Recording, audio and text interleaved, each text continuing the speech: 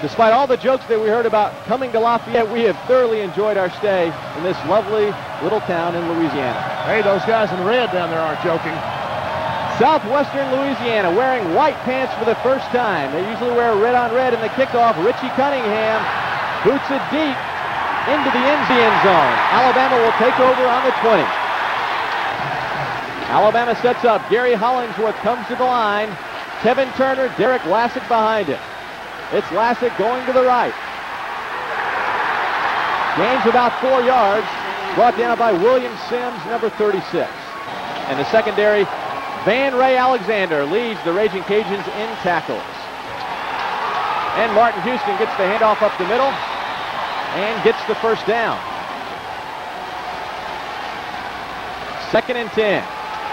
There's the counter draw to Kevin Turner, who gets free and gets knocked out of bounds at about the 49-yard line. Nice pickup and a great play. Gain of 16. Kevin Turner, a pickup of 16. Gary Hollingsworth first and 10 from the 49, and there's that man Turner again, bullying his way close to another first down. He might have gotten it. It's going to be close. A gain of nine. Big play. Third down and 15 from the 44. From the shotgun, Gary Hollingsworth has a man wide open. Donnie Finkley catches it down to the 23-yard line. First down, Crimson Tide.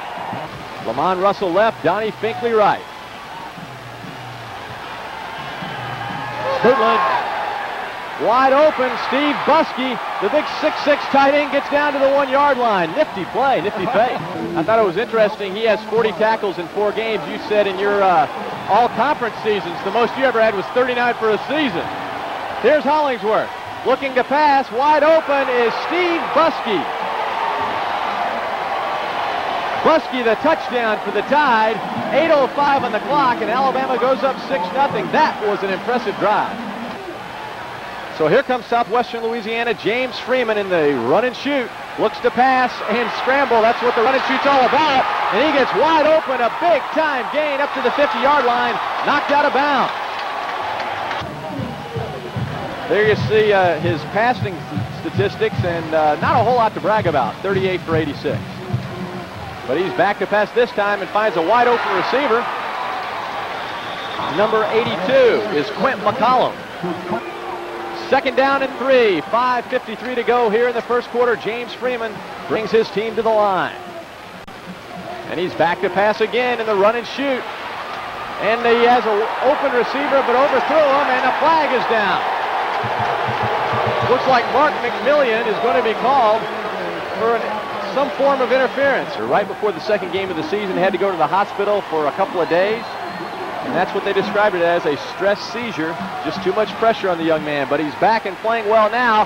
Uh, nearly intercepted. It is intercepted. McMillian gets the tip from Derek Orton, and he might go down to the 47-yard line. For a moment, it looked like he would break free farther. A 35-yard return for Mark McMillian.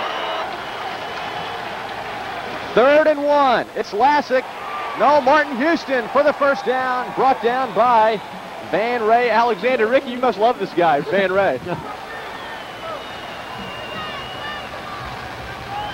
Back to pass goes Gary, setting up the screen, and he overthrows Derrick Lassic. And a penalty. Late hit. Third and four from the 14. Hollingsworth back to pass. And it's in and out of the hands of Kevin Turner. That'll stop the clock. 116 to go here in the first quarter. The 32-yard field goal attempt by Philip Doyle. Missed only once this year, 7 of 8. Doyle boots it up, and it is good. Alabama goes up 10-0, a minute 10 to play here in the first quarter. So far, two drives have resulted in two scores for the tie. The Cajuns in those vermilion jerseys come to the line.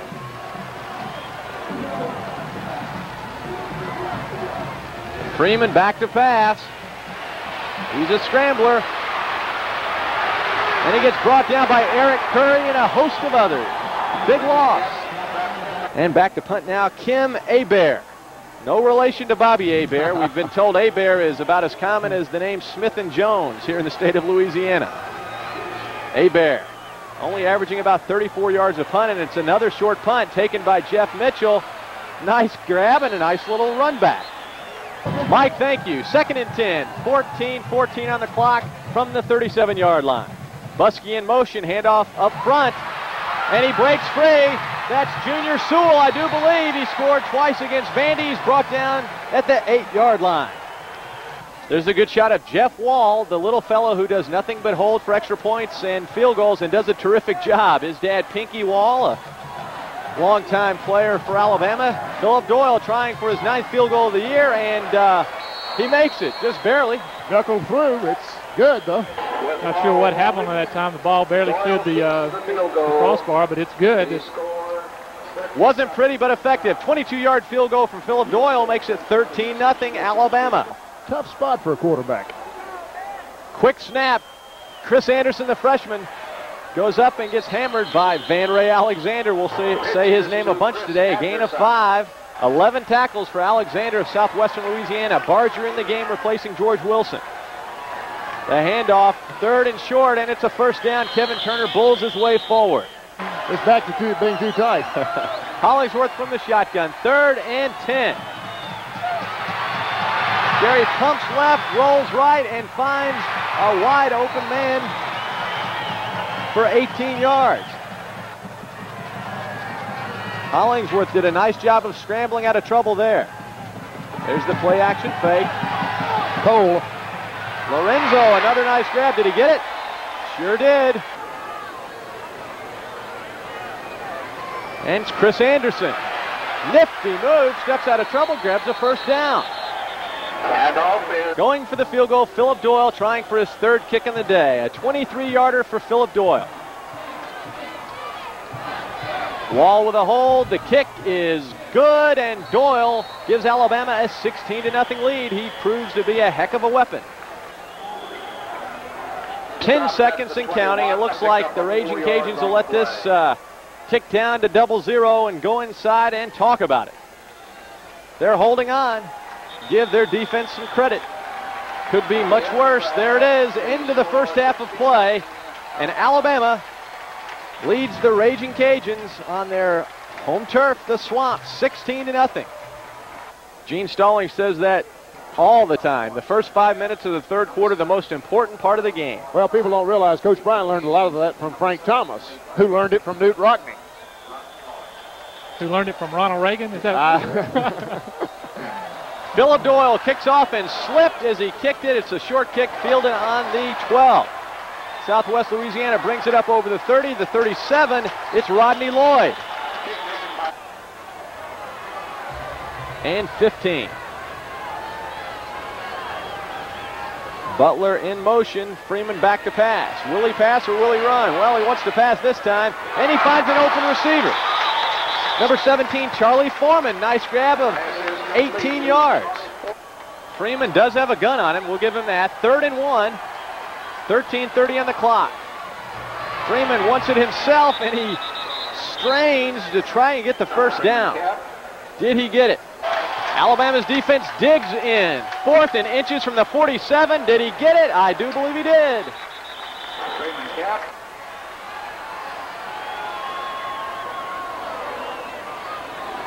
All's quiet here at Cajun Field. They want something to cheer about. And he throws it out of bounds. That is going to keep them, uh, well, actually, a few boos come out after that one. So it's fourth and long. They're going to kick it away. So Alabama will have to punt it away. Stan Moss, his second boot of the afternoon. it doesn't appear that Lamonde Russell quite comfortable with the position changes he's been going through. Split in, back to tight end a little bit, out to split end. I don't think he's quite got his feet on the ground. Mal Moore told me before the game that Lamonde also has a class schedule that's keeping him out of practice. So he's going through position changes and also missing some practice because of classes. Nice kick from Stan Moss. 44-yard boot into the end zone. They'll bring it out to the 20. Ricky, would you say this is a critical possession for the Cajuns? Taiwan Hayes in at quarterback. Ball's loose. Alabama might have recovered. There was a mess up on the exchange. Taiwan Hayes, the new quarterback, did fumble, and Alabama recovers. The Tide takes over at the 21-yard line, 22-yard line. Philip Doyle from 32 yards, already three out of three, and make him four out of four. Doyle connects, seven for eight coming into the game. And now he's 11 for 12. Philip Doyle, a terrific year. He enjoys kicking him, but Alabama would like to get some touchdowns. Nevertheless, it's 19 to nothing. Gary Hollingsworth first and 10 from the 33. 2.55 to play in the third quarter. Gary looks to complete a pass, and he does. They're going to count it. Yes, it's complete. Donnie Finkley, nice grab. Had it long enough, 17 yards. Second and six from the 47. Hand off to Martin Houston, who finds a big gaping hole, and he breaks free. He could go all the way, but doesn't. Gets pulled down by, by William Sims at the 13. Third and nine. Philip Doyle is getting his leg limber, but he doesn't want to come on unless it's an extra Blitz. point. The blitz works. Gary brought down by William Sims for a loss. Minus eight yards. Williamson. We're back. Philip Doyle trying for his fifth field goal of the day. Up and good. 22 0 Alabama. Doyle has now tied the Cajun field record with five in one football game. That was a, a comedy show right there. People were confused as can be. Again, kind of a slow start from the line, but Freeman connects with McCollum. He gets pushed out of bounds hard, which brings the crowd onto their feet. Yes, the crowd is still here. Gain of 14 yards. James Freeman first and 10 from the 32. We're inside 10 minutes to play. And Freeman finds McCollum again, who drops it. And McMillian gets nailed for the penalty. Unnecessary. Maybe he was blocked off and didn't see the ball, but uh, sure looked like uh, pretty good call. Third and eight from the 49. 9.08 on the clock. James Freeman trying his best to get that zero off the scoreboard. There it is. Nice completion there to Charlie Foreman, his first grab of the day. Third and 20 from the 45. Freeman looking for a prayer, and it's answered, but uh, not enough. It was caught by Rodney Lloyd. He's pushed out of bounds at the 28-yard line. A gain of 16. They needed 25. Big That- play. That's criminal. Hitting a poor lady on the sideline. Fourth down. James Freeman completes the pass to McCollum, and he wrestles his way, keep him in bounds for a first down. Blitz. Freeman had an open receiver, and he gets tied up. Penalty on Charles Gardner. Looked like a pretty good call from up here. First and goal from the four. Crowd is on their feet. Handoff. No, fake handoff. Freeman scores. There goes the shutout. And the Cajuns are on the board, and the crowd is certainly raging right now. Here goes Freeman. He's got the play. They've talked it over. It's 22-6. The pitch left. They were talking about the option, and oh my, he gets nailed and stopped short by Ephraim Thomas. What a hit. Alabama continues to have their problems in the fourth quarter, being outscored 42 to 6 thus far this season. There it is, looks pretty good, but Alabama falls on it. Nice try.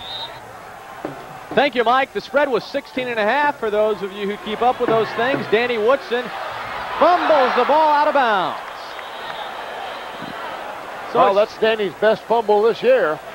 Picked up If about to seven. fumble, let's get it going forward for first down. Danny calling the play, third and two. Junior Sewell in there along with Chris Anderson. Danny's going to keep it himself and fall forward, and it's going to be close. It, it, it depends whether they get one of those marks that Southwest got a little while ago. Charlie Dare in at left tackle for Alabama. Second down and eight. Philip Doyle's getting the old leg warm. Chris Anderson scoots forward for a first down, or at least close to it. Second and nine from the 25. We're inside three and a half minutes. 22 to 6 the score. Martin Houston having a good ball game. Battles forward to the 12 yard line. 35 yard attempt for Philip Doyle. The hold by Jeff Wall. Good hold, good kick. He's done it again. The man of the hour, the tower of power, Philip Doyle. 25 to 6. Pat Dye and also uh, John Mackovic, University of Illinois. Three busy fellas. And there's another completion. Freeman to McCollum. Gain of seven yards. You know, the gamblers of this world uh, who bet on Alabama, it was 16 and a half. So they were sweating it out until that final field goal. It's 25-6. Freeman. Whoa, great catch by Quinn McCollum. Nice grab. McCollum now has seven catches for 100 yards on the day. He's been busy. And he's pushed out of bounds by McMillian and tackled now. Rockwell and McMillian on the grab. Inside a minute, they're trying for another touchdown. And he's tackled right away by Mark McMillian. Quint McCollum, eight catches now for that young man. Second and three from the 19. Freeman just can't find anybody open. Good coverage by the secondary. Rolling right, James Freeman. Is there a man? Interception. Interception. Steve Webb brings it back to the seven-yard line. Steve Webb. Nice play by the big guy, eight-yard return. Derek was in Tuscaloosa. Steve was in Holt. They played high school ball against each other. There's a fumbled snap by Danny Woodson. 15 ticks, 14, 13, 12, 11. They're going to let it run. You see the clock in your lower right-hand corner. Can I cut the cake now? Please. I've been trying to cut the cake since the second quarter, but you guys wouldn't let me. there it is. It's all over. The Tide 25, the Cajuns 6. The spread was 16 and a half. The Tide beat the spread. Philip Doyle, the man of the hour, we said that before, with six field goals. Could have been worse. But when you get a win on the road before a fired up crowd like this, you're going to take it.